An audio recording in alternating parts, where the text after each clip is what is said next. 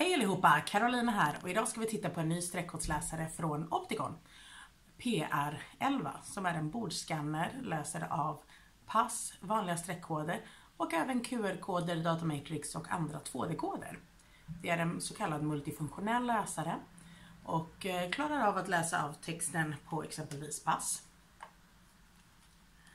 Vanliga enkoder från ja, tuggummiburkar, många andra produkter och eh, självklart även kuponger eller andra QR-koder från mobilen.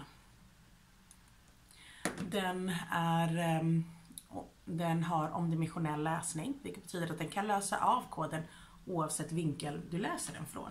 Så det spelar ingen roll om jag läser av enkoden exempelvis åt det hållet eller från det andra hållet. Den har väldigt snabb avläsning och den går att ställa in antingen med automatisk eller manuell läsning så man får klicka när en ny kod ska läsas av. Om man väljer den vita så har den även antibakteriellt ytskick och kan spritas, rengöras för att hålla sig extra ren. Garantin är på två år och den kommer självklart med en liten manual med alla instruktioner du behöver för att kunna komma igång. Vi har flera stycken i lager så tveka inte att kontakta mig och mina kollegor för mer information. Hej då!